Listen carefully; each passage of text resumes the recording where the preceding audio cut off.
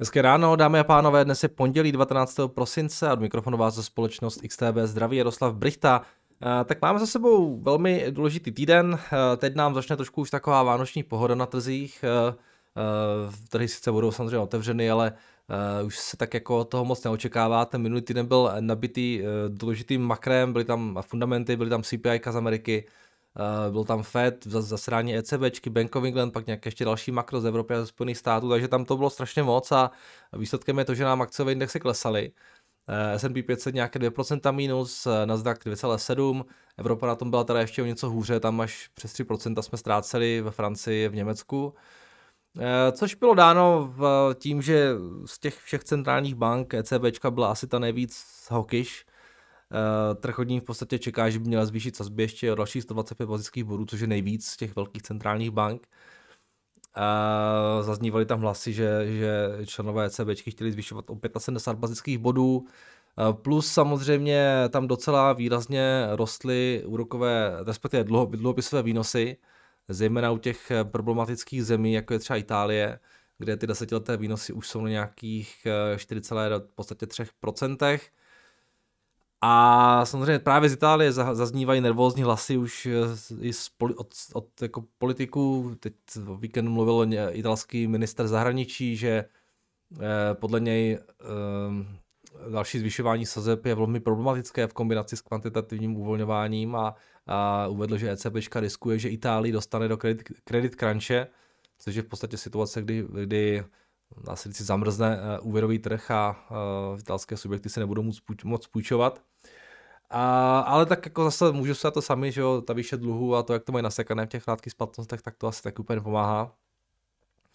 Takže tohle jsou věci, které uh, úplně těm evropským trhům, řekněme, uh, nechutnaly a, a výsledkem bylo to, že ta Evropa se propadla nejvíce.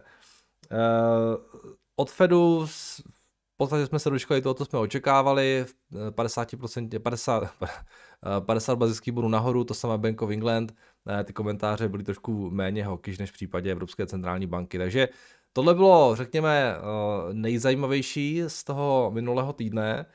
Eh, čeká nás docela zajímavý rok, eh, protože ty, ty sazby, jak začínají stoupat, tak se teprve dozvíme v tom příštím roce, vlastně kam až ty sazby můžou vystoupat a jak, jak dlouho na těch zvýšených úrovních můžou být. To bude docela zajímavé sledovat a to bude možná jeden takový z klíčových fundamentů, který bude ovlivňovat ten další vývoj na akcích a obecně na finančních trzích eh, napříč tím příštím rokem.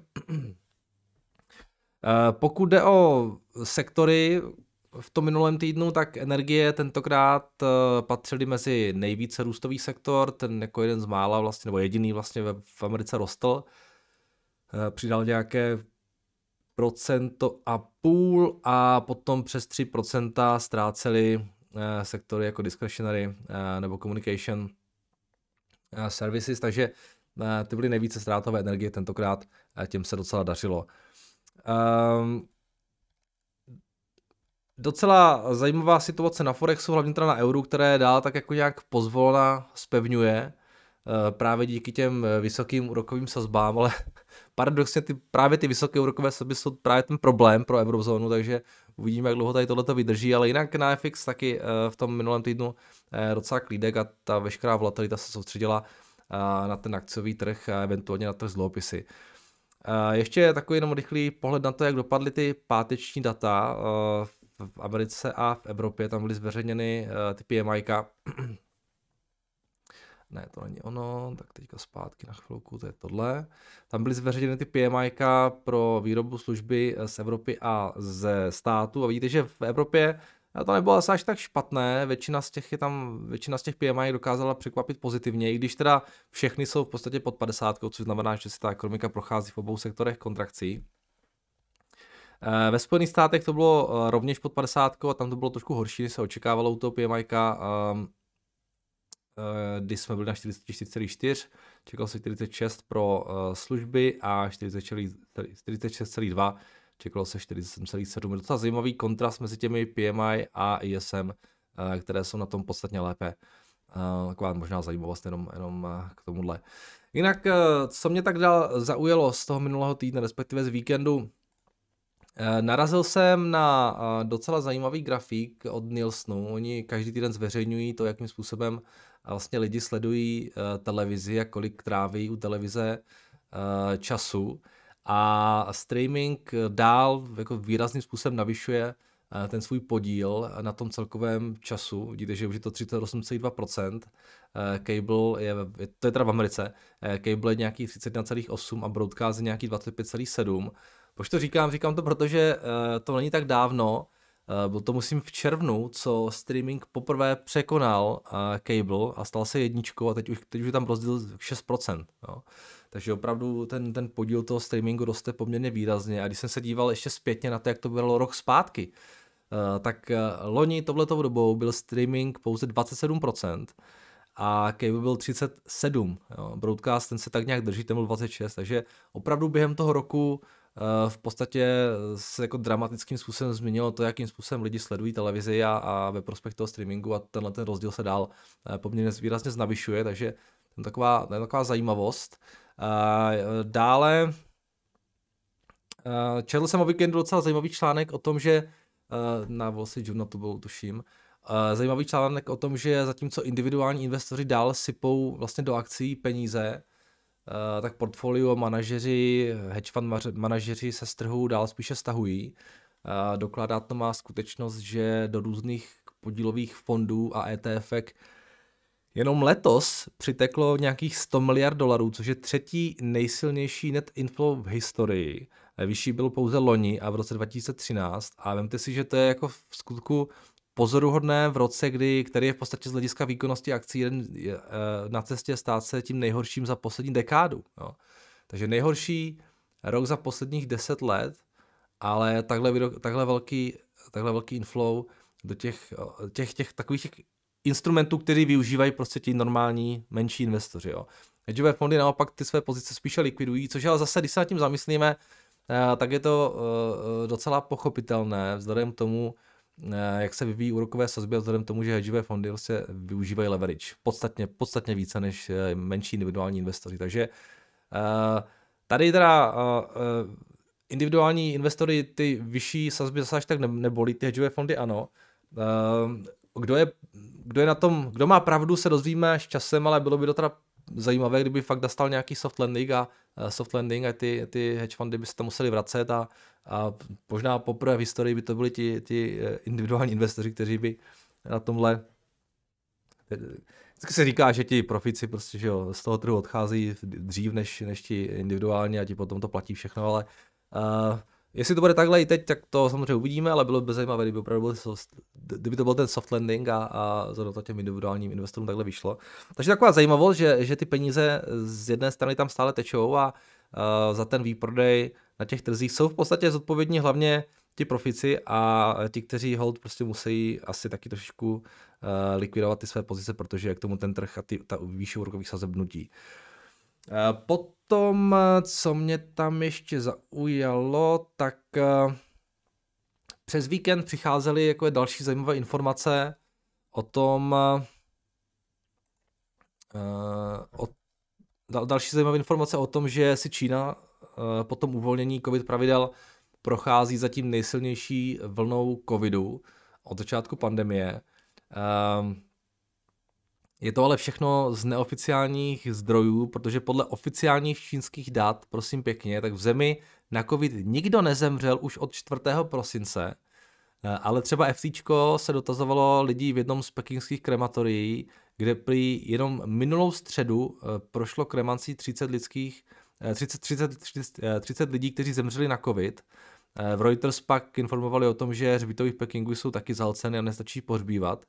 Takže Jo, samozřejmě CCP si jede to svoje, ale realita asi bude někde jinde, ale těžko se dobrat toho, jak přesně vážná ta situace v Číně je, protože prostě nejsou žádné data, jsou fakt jen takové sporadické informace od těch jednotlivých uh, uh, novin a agentur a tak dále. Takže uvidíme, co v tomto mohlu se v Číně bude dál dít, ale to rozvolňování tam pokračuje a zjevně vlastně uh, řada lidí, uh, jo, jsou tam prostě rekordní čísla, velmi pravděpodobně, co se týče nemocnosti a nakažených a tak dále a umrtí. Takže tohle je taková zajímavost, ale to, ten, ten eh, COVID reopening, eh, tak to je určitě story, která spíše, řekl bych, eh, tomu sentimentu v té Asii a zejména v Číně pomáhá. No, jinak eh, k, toho, k tomu minulému týdnu více nemám. Pokud jde o tenhle ten týden, tak jak jsem tak naznačil, tak uh, už to nebude taková divočina jako v tom minulém. Což ale neznamená, že ty trhy nemusí být volatilní. Uh, už byly tady nějak tři roky zpátky svátky, kde byly extrémně volatilní, nebo čtyři, ale většinou je tam na těch trzích klídek. Pokud jde o nějaký ten makrokalendář, tak dnes tam v podstatě nic moc nemáme. Zítra máme Bank of Japan zasedání. Uh, ve středu je tam CPI jako z Kanady a spotřebitelská důvěra z Ameriky, ve čtvrtek uh, jenom revize HDP v Americe a v pátek uh, HDP Kanady, takže tohle už bude takové trošku uh, volnější. Budou tam i nějaké uh, korporátní data, mám pocit, že reportují tenhle ten týden FedEx, uh, Nike a nebo taky Micron by měl reportovat, pokud se nepletu, takže to může být docela zajímavé. No a jinak uvidíme, no, uvidíme, eh, co nám ty tady budou v tomhle týdnu vyvádět. Když se podíváme ještě na FX, tak eh, z těch dalších měn mimo euro ta situace je docela, řekl bych, stabilizovaná. Libře trošku uh, uškodilo to zasedání Bank of England z toho minulého týdne, ona ta banka byla asi nejvíc tak jako, nebo nejméně hoký, řekl bych, z té, z té vlaky trojky. Japonec ten se tak nějak plácá na těch 136 pořád, Kanaděn se taky plus minus drží. Uh, Austral, Novozélanděn taky, takže tam nejsou nějaké úplně velké změny. Kačka nějaký 22,79 momentálně. Uh, stříbro, teda zlato 17,90, stříbro nějaký 23 dolarů za unci a ropa kolem 75, takže tady taky žádná velká změna, no a tohle jsou potom ty indexy. Uh, bit, Bitcoin stále teda zpátky pod 17 tisíci, Ethereum 1176. Tak jo, já myslím, že je to ode mě asi všechno. A pojďme se ještě mrknout teda jenom na ty futures, co dělají dnes ráno. Eh, v podstatě stagnují, tam, tam není žádný pohyb, takže vypadá to, že ta pondělní sánce měla začít relativně v poklidu. Dobrý, ode mě to všechno, pojďme se podívat na vaše dotazy, které jsou kde, které jsou tady. Jo, tady Tomáš hodil odkaz na naše povídání o trzích s Danem Vořechovským, takže uh, určitě doporučuji. Bylo to docela, dvě očky jsme toho sedali a bylo to docela fajn, takže uh, pokud se chcete podívat, tady můžete kliknout, zaregistrovat se, můžete se mrknout. Tak, uh, dobrý den, Nardo, děkuji vám za skvělou práci, kterou pro posluchače děláte. Delší dobu sleduji společnost KSB, uh, což je německý výrobce čerpadel, ventilů a souvisejících systémů pro různé aplikace, jako jsou instalace v budovách, procesní inženýrství, čištění odpadních vod, eh, přeprava vody, přeměna energie a přeprava pevných látek. Eh, společnost působí ve třech segmentech, čerpadla ventily a servis. Segment čerpadla zahrnuje výrobu a instalace pro jednostupňová a vícestupňová čerpadla, podvodná čerpadla a související řídící a pohonné systémy. Segment ventilů zahrnuje klapkové, kulové, šoupátkové, regulační membránové a tak dále, prostě ventily, je, je, jakož i související pohony a řídící systémy. Segment servis zahrnuje instalaci uvedení do provozu, spuštění kontrolu, servis, údržbu a opravy čerpadel. Firma působí po celém světě už 150 let, cirka 15 000 zaměstnanců, Firma mi připadne valuačně zajímavá, s price earnings 6,8, zákazníkům dodává řešení na klíč, které navrhne výrobní a poté vyrobí, ne, navrhne, vyrobí a poté servisuje dodávka náhradních dílů. Prosím o náhled na, na data do Bloombergu, případně váš názor. Předem děkuji za odpověď Jan. Jane, díky. Eh, škoda, jste napsal trošku víc k tomu třeba, jaký mají, jaký mají to postavení na trhu, co to vede za lidi nebo něco takového ale můžeme se tak jako v rychlosti podívat, ale já je neznám bohužel, takže moc tomu asi nedokážu úplně eh, říct. KSB říkáte. To budou asi oni teda.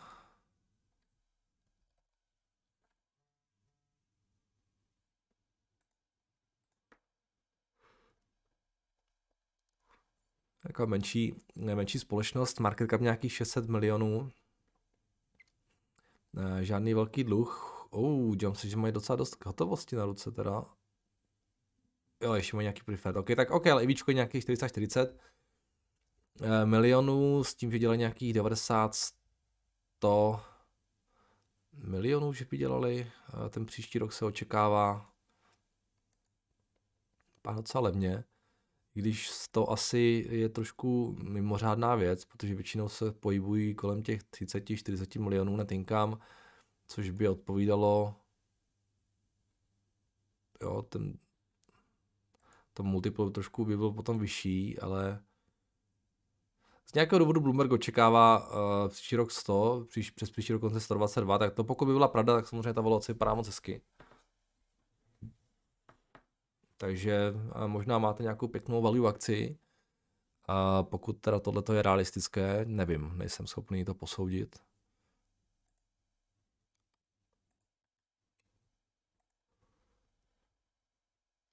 Samozřejmě berte všechny tyhle ty odhady Bloombergu s rezervou, obzvlášť u těch menších společností.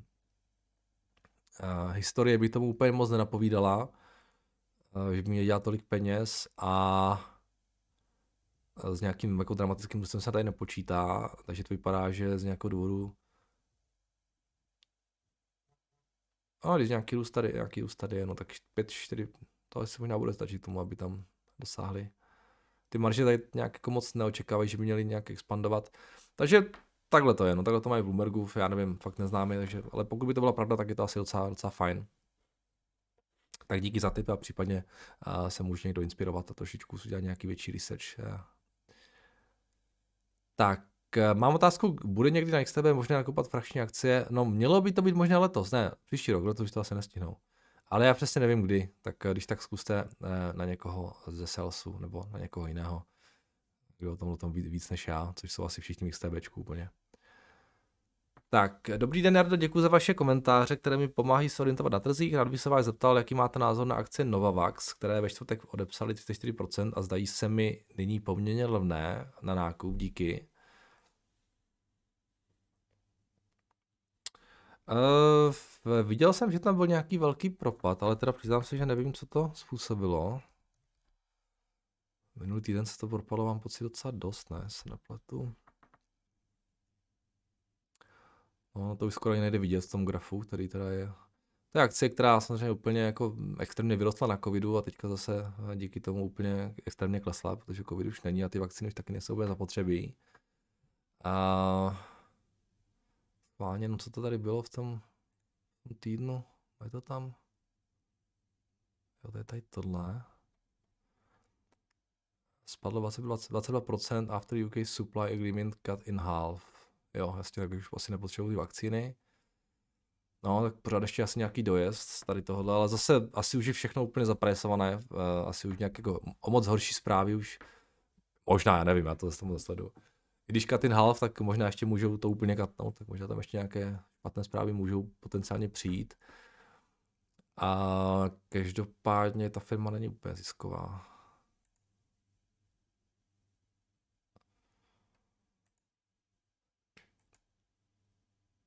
A to je docela zajímavé, že já teda nevím, jo, fakt úplně, úplně neznám, ale teda oni nebyli v zisku ani během toho covidu? To je docela překvapující. Jinak teda před covidem 18 milionů revenues. Jak to, že nebyli v plusu ani během toho covidu?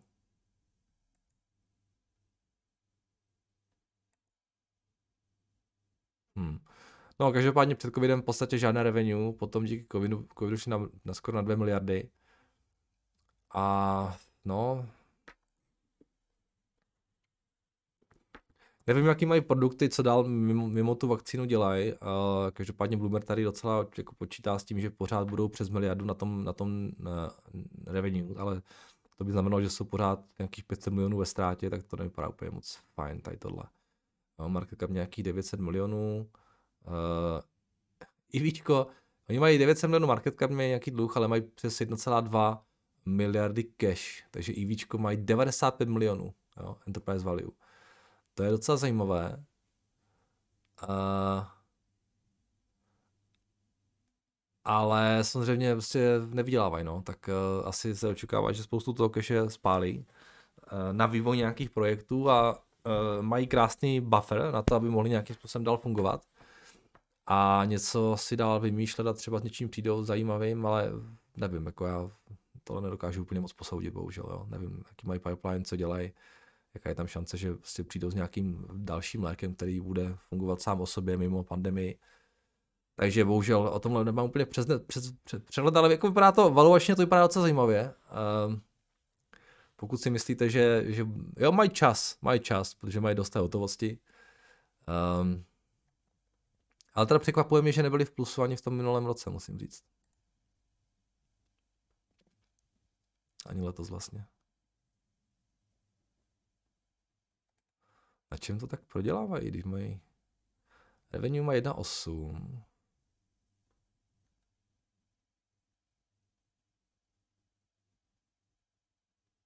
Operating expenses. Říct, no jasně, no, tak oni jdou 2 miliardy do R&D. To je úctyhodné. Tak snad toho něco dobrého vypadne. No. Oni mají 1,9, 1,9 miliardy revenues a 1,9 miliardy na spolek do R&D. To je commitment tady tohle teda. No, zbytek už tam tak nějak jako, to se ale zase dá snížit docela pěkně to R&D, jo, takže to není něco, co by asi bylo úplně nebezpečné pro tu firmu. Oni prostě asi, asi si věří a asi vlastně jdou na maximum a uvidíme, uvidíme. A ta firma, pokud bude chtít jako omezit trošičku ten, jako ty výdaje, tak to asi půjde. A ne přece jenom v roce 2019 měli R&D 100 milionů. Oni všechno, co vydělali, narvali do R&D. Wow. No téměř všechno. Hmm. Zajímavý. Uh, nevím úplně na čem dělají, ale, ale tohle je docela zajímavý. Takže nemám názor, nemám názor. Ani nějak pozitivní, ani negativní. Já znám tak moc dobře. Ale možná si přečtu, co, co nad čem dělají, protože tohle je jako velký commitment na to R&D. Tak, uh, jestli někdo něco víte o tom Novavaxu, zkuste se trošku rozepsat, to by, docela, to bylo docela zajímavé. A vím, že to je taková populární akce, tak možná tady někdo se chytne a něco zajímavého tam tomu napíše. Tak, kde jsme skončili? Uh, tohle jo. Tak zdravím, Merdo, chci se zeptat na zajímavou účetní operaci u francouzské firmy Veralia.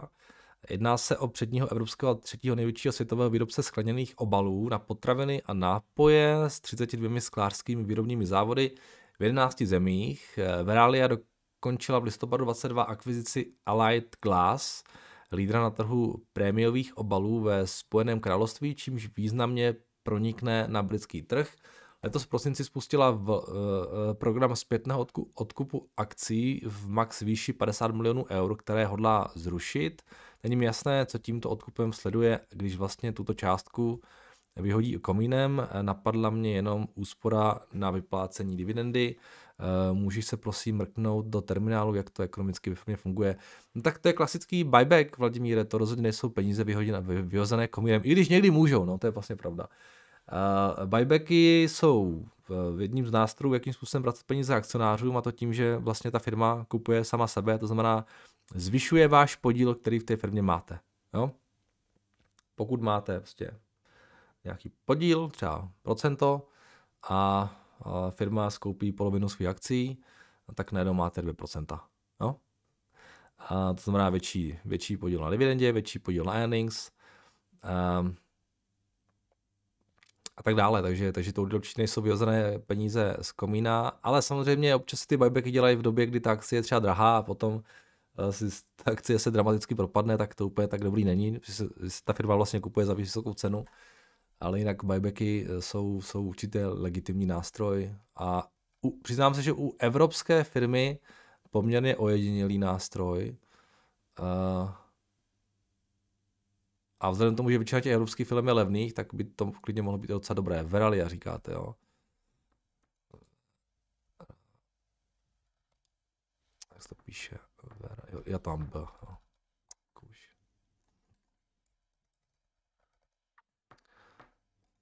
Takže se na ně pojďme podívat. Uh, myslím, pokud, pokud je nějaká evropská firma, která uh, vydělává, tak buybacky jsou podle mého názoru na místě, protože ty valuace v Evropě jsou docela nízké. Tihleti teda mají 3,7 miliardy market cap, 5 miliard EV, dělají nějakých 350 až 400 milionů. net income, takže to není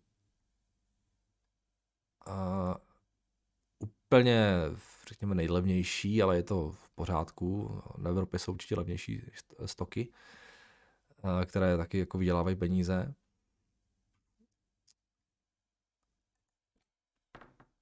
A je tam teda asi nějaká akvizice, protože je tam 20% nárůst uh, tržeb letos, příští rok se čeká nějaký 3,8 a měli by dělat nějakých 400 milionů.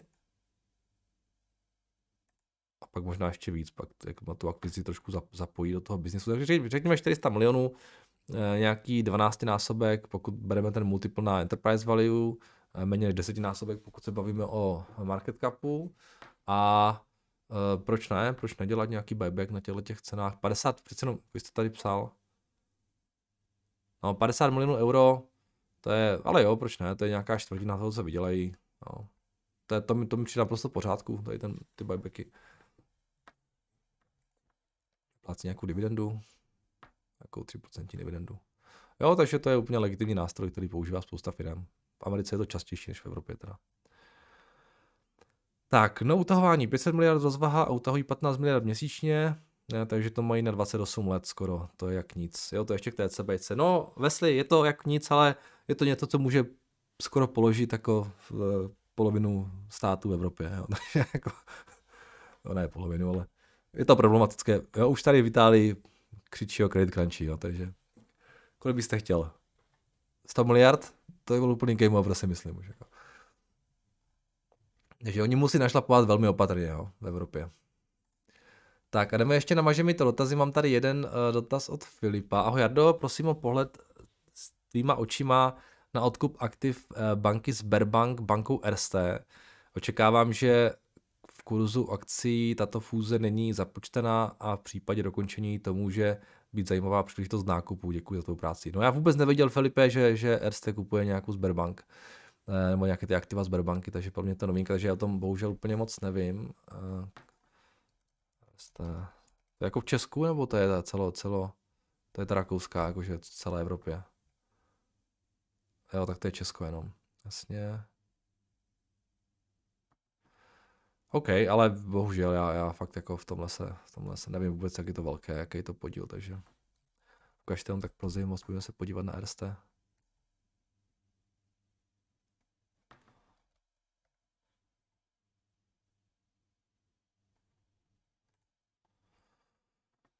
Jak jsou na tom ty české banky? Nějaké dvě miliardy zisků by měly být. Letos si ten příští rok, přes příští plus minus, tak nějak podobně. Nevím, jak je to tam s tím windfall, jak moc to ukrajuje, ale tam to asi nebude tak hrozné jako u těch energií. Dvě miliardy to je nějaký šestinásobek price earnings, book value mají nějaký 16 uh, miliard, takže se prodávají pod, pod book value Ukažte, jaký mají roje. 11. No, je špatný, no. S tím letím role, roje, takhle pod book value, proč ne?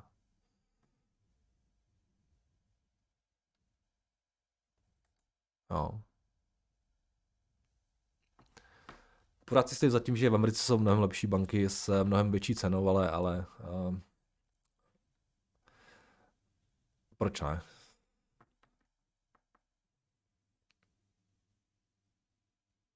Ta výše kapitálu je moc pěkná v, v Česku, že ty banky jsou úplně rock solid.